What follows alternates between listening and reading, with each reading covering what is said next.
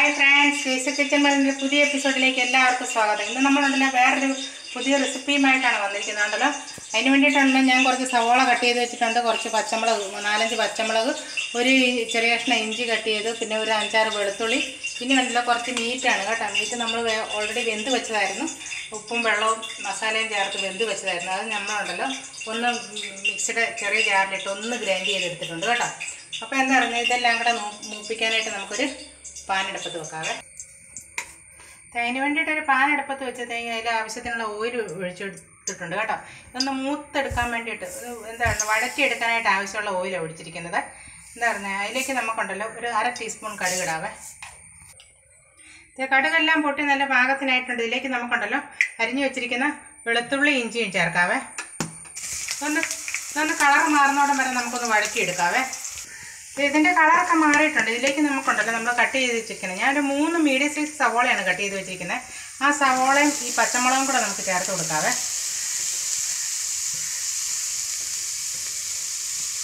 ഇനി ഇത് ഇനി ഇതെല്ലാം കൂടി ഒന്ന് നമുക്ക് നന്നായിട്ടൊന്ന് വഴറ്റിയെടുക്കാവേ. ഈ സവോളയുടെ കളറൊക്കെ മാറിയിട്ടുണ്ട്. നമുക്ക് ഇതിലേക്കുണ്ടല്ലോ ഒരു കാൽ ടീസ്പൂൺ മഞ്ഞൾപ്പൊടി. പിന്നെ ഒരു അര ടീസ്പൂൺ ഉപ്പ്. കൂടെ ചേർത്ത് നന്നായിട്ട് ഒന്നുകൂടെ ഒന്ന് മിക്സ് ചെയ്യാവേ. ഇത് നമ്മുടെ സവോള ഇതെല്ലാം നന്നായിട്ട് മൂത്ത് നല്ല ഗോൾഡൻ ബ്രൗൺ ആയിട്ടുണ്ട് കേട്ടോ. ഇനി ഇതിലേക്ക് നമ്മൾ നമ്മൾ ചേർക്കുന്നുണ്ടല്ലോ. ഒരു ടീസ്പൂൺ മല്ലിപ്പൊടി ടീസ്പൂൺ മുളക് പൊടി. എരിവ് വേണ്ടവർക്ക് കുറച്ച് കൂടുതൽ ചേർക്കാം കേട്ടോ. ഇനി ഉണ്ടല്ലോ ഒരു ടീസ്പൂൺ ഗരം മസാലയാണ് ഞാൻ ചേർക്കുന്നത്. പച്ചമണം മാറുന്നോടം വരെ നമുക്ക് നന്നായിട്ട് ഒന്നുകൂടെ ഒന്ന് വഴറ്റിയെടുക്കാം. ഒപ്പം നമ്മൾ ഇതിലേക്ക് ചേർക്കുന്ന ഒരു പിടി കറിവേപ്പിലയാണ് കേട്ടോ. അതും കൂടെ ചേർത്ത് നന്നായിട്ടൊന്ന് മിക്സ് ചെയ്ത് മിക്സ് ചെയ്ത് പോകും മാറി. പച്ചമണം എല്ലാം മാറി നല്ല പാകത്തിനായിട്ടുണ്ട് കേട്ടോ. അപ്പോൾ ഇതിലേക്ക് നമുക്കുണ്ടല്ലോ നമ്മൾ മിക്സ് ചെയ്ത് വെച്ചിരിക്കുന്ന ബീഫ് അങ്ങ് ചേർക്കാം കേട്ടോ. അപ്പോൾ ഇതോടെ ചേർത്ത് നന്നായിട്ടൊന്ന് എല്ലാം കൂടെ മിക്സ് ചെയ്തെടുക്കാം. അങ്ങനെ നമ്മുടെ ഫില്ലിംഗ് ഇവിടെ റെഡി ആയിട്ടുണ്ട് കേട്ടോ. നമുക്കിതുണ്ടല്ലോ തണുക്കാൻ വേണ്ടിയിട്ട് മാറ്റി വെക്കാവേ. ഈ തണുക്കുമ്പോഴത്തേക്ക് നമുക്കുണ്ടല്ലോ അതിന് വേണ്ട എന്താ പറയുക മാവ് തയ്യാറാക്കാവേ. ഞാനൊരു പാൻ ഒരു ബൗൾ എടുത്തിട്ടുണ്ട് കേട്ടോ. അതിലേക്ക് ഞാനുണ്ടല്ലോ രണ്ട് സ്പൂൺ മൈ മൈദയാണ് എടുക്കുന്നത് കേട്ടോ. രണ്ട് സ്പൂൺ എന്ന് പറയുമ്പോൾ രണ്ട് കപ്പായിട്ട് വരും കേട്ടോ. ഈ രണ്ട് കപ്പ് മൈദയിലേക്ക് ഞാനൊരു അര ടീസ്പൂൺ ഉപ്പ് ചേർക്കുവാണ്. ഇനി സാധാരണ നമ്മളുടെ വെള്ളമില്ലേ സാധാരണ പച്ചവെള്ളം ഒഴിച്ച് നമുക്ക് കുറേശ്ശെ ഒഴിച്ച് ഇത് പെട്ടെന്ന് പെട്ടെന്ന് കുഴച്ചെടുക്കാവേ. ഒത്തിരി ഒഴിക്കരുത് ചപ്പാത്തി മാവ് പോലെ തന്നെ കുഴച്ചെടുക്കാം നമുക്ക്. ഇത് നന്നായിട്ട് നമ്മൾ ചപ്പാത്തി മാവിന്റെ പരുവത്തിൽ കുഴച്ചെടുത്തിട്ടുണ്ട്. നല്ല സോഫ്റ്റ് ആയിട്ടാണ് കുഴച്ചെടുത്തിരിക്കുന്നത് കേട്ടോ. ഇത് നമുക്കുണ്ടല്ലോ ഒരു പത്ത് മിനിറ്റ് റെസ്റ്റ് ചെയ്യാൻ വെക്കാവേ. ഇത് നമ്മളിത് റെസ്റ്റ് ചെയ്യാൻ വെച്ചിട്ട് പത്ത് മിനിറ്റ് കഴിഞ്ഞു കേട്ടോ. ഇതിന് നമുക്കുണ്ടല്ലോ ചെറിയ ഉരുളകളാക്കി എടുക്കാവേ.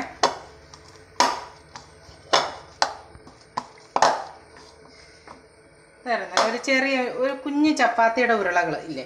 ആ പരുവത്തിൽ നമുക്ക് ഉരുട്ടി ഉരുട്ടി നോക്കി ഇങ്ങനെ അങ്ങ് ഉരുട്ടി ഉരുട്ടി എടുക്കാവേ. ഇനി നമുക്ക് ഓരോ ഉരുളകളും ഉണ്ടല്ലോ നമുക്ക് നന്നായിട്ട് പരത്തിയെടുക്കാം നല്ല. ഒട്ടുവാണെങ്കിൽ ഇച്ചിരി ഉണ്ടല്ലോ. മൈദ തന്നെ മുക്കി അങ്ങ് എന്താ പറയുന്നത് പരത്തിയാൽ മതി കേട്ടോ. നന്നായിട്ട് നല്ല തിന്നായിട്ട് നമുക്ക് പരത്തിയെടുക്കാവേ. പിന്നെ നമ്മൾ പരത്തി എടുത്തിട്ടുണ്ട് കേട്ടോ. ഇത് നമുക്കുണ്ടല്ലോ. ഇവിടെ റെസ്റ്റ് ചെയ്യാൻ വെക്കാം. എന്നിട്ട് ബാക്കിയും കൂടെ നമുക്ക് അതുപോലെ അങ്ങ് പരത്തി എടുക്കാവേ ഇത് നമ്മൾ മൊത്തം പരത്തി എടുത്തിട്ടുണ്ട് കേട്ടോ. ഇനി നമ്മൾ ഇതിലേക്കുണ്ടല്ലോ. ഇനി ഓരോ ചപ്പാത്തിയും ഇതിന്റെ എടുത്തിട്ടുണ്ടല്ലോ. അതിലേക്ക് നമ്മൾ കുറച്ച് ഓയിൽ എന്താ സ്പ്രെഡ് ചെയ്ത് കൊടുക്കണേ. എന്നുവെച്ചാൽ വിട്ട് വിട്ട് പോരാൻ വേണ്ടിയിട്ടാണ് കേട്ടോ. നന്നായിട്ട് ഓയിൽ എല്ലായിടത്തും പാക ആകത്തക്ക രീതിയിൽ അങ്ങ് സ്പ്രെഡ് ചെയ്ത് കൊടുക്കുക. എന്നുവെച്ചാൽ അതിന്റെ മുകളിലോട്ട് കുറച്ച് മൈദ തൂകണം മൂന്നാലെണ്ണം നമ്മൾ ഒന്നിച്ച് വെച്ച് ഉണ്ടാക്കുമ്പോഴത്തേക്കുണ്ടല്ലോ വിട്ട് പോരാൻ വേണ്ടിയിട്ടാണ് ഇങ്ങനെ നമ്മൾ ചെയ്യുന്നത്. അതിന്റെ മുകളിൽ മൈദ തൂകണം അത് കഴിഞ്ഞ് അതിന്റെ മുകളിലേക്ക് നമ്മൾ അടുത്ത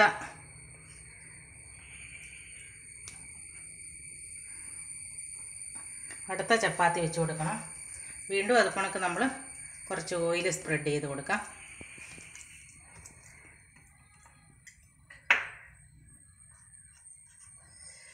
പിന്നെ വീണ്ടും മൈദ ഒന്ന് സ്പ്രെഡ് ചെയ്ത്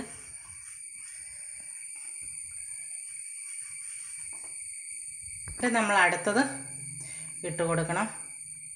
അവത്തേലും വീണ്ടും ഓയിൽ സ്പ്രെഡ് ചെയ്യുക. അങ്ങനെ എത്ര എണ്ണം വേണേലും നമുക്ക് വെക്കാവേ. എന്താ പറയുന്നത്? നമുക്ക് ഒരു അഞ്ചും ആറും എണ്ണമൊക്കെ നമുക്ക് വെക്കാവുന്നതാണ്. അങ്ങനെ വെക്കുമ്പോഴത്തേക്കുണ്ടല്ലോ പണി എളുപ്പമാകും. നമുക്ക് ഈസി ആയിട്ട് ചെയ്തെടുക്കാനും പറ്റും.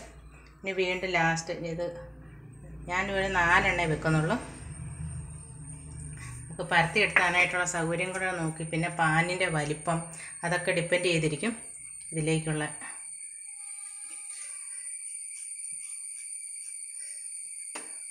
ഓയിൽ ഓയിലും മൈദയും നന്നായിട്ട് സ്പ്രെഡ് ചെയ്ത് കൊടുത്താലേ ഉള്ളൂ നമുക്കിത് വിടിയിപ്പിച്ചെടുക്കാൻ പറ്റുള്ളൂ. അപ്പം അങ്ങനെ നിങ്ങൾ ചെയ്യുക. ഇനി നമുക്ക് നന്നായിട്ട് പരത്തിയെടുക്കാവേ. നമ്മുടെ പാനിന്റെ വലിപ്പം അനുസരിച്ച് വേണം നമ്മൾ പരത്താനായിട്ട് കേട്ടോ. അല്ലെങ്കിൽ തിരിച്ചും മറിച്ചു വിട്ട് നന്നായിട്ട് പരത്തിയെടുക്കുക. തേങ്ങ മൊത്തം ഞാൻ പരത്തി എടുത്തിട്ടുണ്ട് കേട്ടോ. ഇത് ഇന്ന് ചെളിയൊന്നുമില്ല കേട്ടോ. ഞാൻ ഇതിന്റെ അകത്തുനിന്ന് വന്ന് ഈ എണ്ണയ്ക്കകത്തുനിന്ന് വന്നതാണ്. ഇത് പരത്തി എടുത്തിട്ടുണ്ട് ഇനി നമുക്കുണ്ടല്ലോ ഒരു പാൻ അടുപ്പത്ത് വെച്ച് ചൂടാക്കാവേ. നന്നായിട്ട് ചൂടായിട്ടുണ്ട്. അതിലേക്ക് നമ്മളുണ്ടല്ലോ ഇത് ഉണ്ടാക്കി വെച്ചിരിക്കുന്ന ഈ സാധനം നമുക്കങ്ങ് ഇടാവേ. എന്നിട്ടുണ്ടല്ലോ ഒരു മീഡിയം ഫ്ലെയിമിൽ വെച്ച് വേണം ഇത് കുക്ക് ചെയ്തെടുക്കാനായിട്ട് കേട്ടോ. അല്ലെങ്കിൽ ഉണ്ടല്ലോ ഒരുപാട് കരി എടുത്ത് കരിഞ്ഞാൽ എന്നാന്ന് വെച്ചിട്ടുണ്ടല്ലോ ഇങ്ങനെ ക്രിസ്പി ആയി പോകും. അങ്ങനെയാകുമ്പോൾ നമുക്കിത് വേർപെടുത്താനായിട്ട് പാടായിരിക്കും. പിന്നെ മറിച്ചും തിരിച്ചും ഒരു വശമായി കഴിയുമ്പോഴത്തേക്ക് നമ്മൾ ആ ഇപ്പുറത്തോട്ട് തിരിച്ചിടണം. എന്നിട്ട് അപ്പുറം അതുപോലെ കായ് വരുമ്പോഴത്തേക്ക് വീണ്ടും തിരിച്ചിടണം. പിന്നെ എന്താ പറയുന്നത് നമ്മൾ ഇത് ഇത് ഇച്ചിരി കൂടെ കനം കുറച്ച് വരത്താൻ പറ്റുമെങ്കിൽ അതാണ് നല്ലത്. പക്ഷേ എന്റെ ഉരുള ഇച്ചിരി വലുതായിപ്പോയി അതുകൊണ്ട് ഇച്ചിരി കനം കൂടിയാണ് ഇരിക്കുന്നത്. ഇത് ഇച്ചിരി ഇതായി വരുന്നുണ്ട്. ഇനി നമുക്കിതുണ്ടല്ലോ പയ്യെ ഓരോ സൈഡിൽ നിന്ന് ഇങ്ങനെ പയ്യെ വിടിയിപ്പിച്ച് വിടിയിപ്പിച്ചെടുക്കാം ഓരോ ഉരുളകളും കുറച്ചുകൂടെ ഒരു ശക്തലം കൂടി ഒന്ന് ആയിക്കോട്ടെ. നമ്മളിങ്ങനെ ഉണ്ടല്ലോ. പയ്യെ. ഓ ചൂടാ. കൈ കൊള്ളുന്നുണ്ടേ. അതുകൊണ്ടാണ് കേട്ടോ. കണ്ടോ? പയ്യെ പയ്യെ നമ്മളിങ്ങനെ പിടിപ്പിച്ചെടുക്കണം അതിലാണ് നമ്മളുടെ മിടുക്ക് കേട്ടോ. കണ്ടോ? ഇതാണ് നമ്മളുടെ അവരാണ് അപ്പം എന്താ പറയുന്നത് ഇപ്പുറത്തെ സൈഡ് ഇനിയിപ്പോൾ ഈ സൈഡ് നമ്മൾ തിരിച്ചിടണേ. എന്ന് വെച്ച് അപ്പുറത്തെ സൈഡ് കണ്ടോ? അപ്പോൾ ഒരു ബ്രൗൺ കളറായില്ലേ ഇനി ഈ സൈഡ് നമുക്ക് ഇങ്ങനെ പിടിപ്പിച്ച് പിടിപ്പിച്ചെടുക്കാം ചൂട്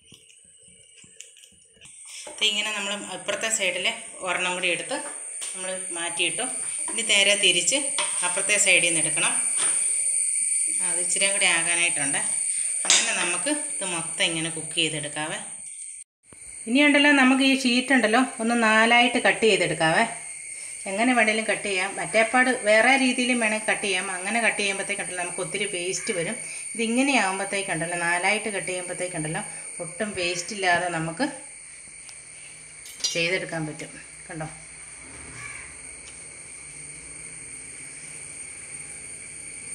ഇനി ഉണ്ടല്ലോ നമുക്ക് ഓരോ പീസും എടുത്ത് ഇങ്ങനെ ഒന്ന് മടക്കാം. എന്നുവെച്ചാൽ അതിന്റെ മുകളിൽ കൂടെ ഇപ്പുറം ഇപ്പുറത്തെ സൈഡും കൂടി ഒന്ന് മടക്കാം. എന്നുവെച്ചിട്ടുണ്ടല്ലോ ഞാൻ ഇച്ചിരി മൈദായും കൊണ്ട് കുറച്ച് പേസ്റ്റ് ഉണ്ടാക്കി വെച്ചിട്ടുണ്ട് കേട്ടോ ജസ്റ്റ് അതും കൂടെ നമുക്കിതൊന്ന് ഒട്ടിച്ചൊട്ടിച്ച് കൊടുക്കാവേ. എന്നുവെച്ചാൽ ഒട്ടും തുറന്ന് പോരാതിരിക്കാൻ വേണ്ടിയിട്ടാണ്. അങ്ങനെ ഒട്ടിച്ച് കൊടുക്കാം. അതിലേക്ക് ഇത് നമ്മൾ വെച്ചു. ഇനി ഇതിലേക്ക് നമുക്ക് ഒരു സ്പൂൺ ഫില്ലിങ് വെക്കാവേ. ഫില്ലിങ് ഒരു സ്പൂണല്ല ഇത് നിറയുന്നതനുസരിച്ച്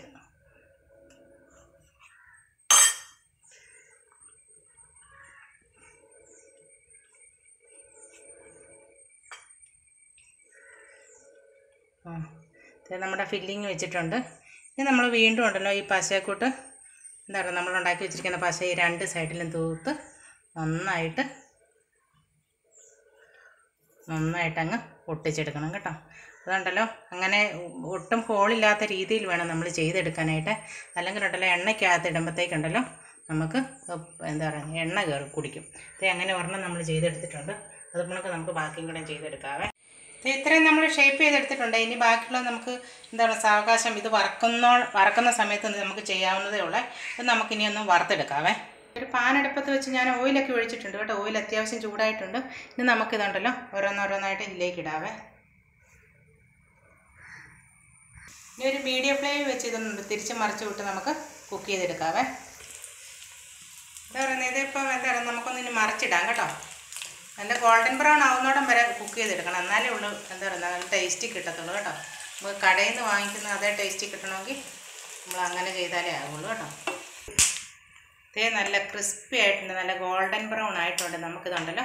ഇനി വാങ്ങാവേ. ഇനി അധികം താമസമൊന്നുമില്ല. പെട്ടെന്ന് പെട്ടെന്ന് ഇത് ഉണ്ടാക്കി എടു ഉണ്ടാക്കി എടുക്കാവുന്നതേ ഉള്ളൂ കേട്ടോ. ഓക്കെ. നല്ല ഈസി ആയിട്ടുള്ള മീറ്റ് സമോസ ഇവിടെ റെഡി ആയിട്ടുണ്ട്. ഇനി നമുക്ക് ബാക്കിയെങ്കിലും ഇങ്ങനെയൊന്നും ഉണ്ടാക്കിയെടുക്കാവേ. നല്ല ക്രിസ്പി ആയിട്ടുള്ള നോക്കി അടിപൊളി സമോസ ഇവിടെ റെഡി ആയിട്ടുണ്ട്. നോക്കി നല്ല ക്രിസ്പി ആകട്ടെ. നിങ്ങൾക്ക് കണ്ടുമ്പോഴത്തേക്ക് നല്ല ഒച്ച വരെ കേൾക്കുന്നുണ്ട്. അപ്പോൾ എല്ലാവരും ട്രൈ ചെയ്ത് നോക്കണം. പുതിയൊരു വീഡിയോമേ നാളെ കാണാം. എന്റെ വീഡിയോ ഇഷ്ടപ്പെടുകയാണെങ്കിൽ ലൈക്ക് ചെയ്യണം ഷെയർ ചെയ്യണം കമന്റ് ചെയ്യണം സബ്സ്ക്രൈബ് ചെയ്യണം. Thank for watching bye bye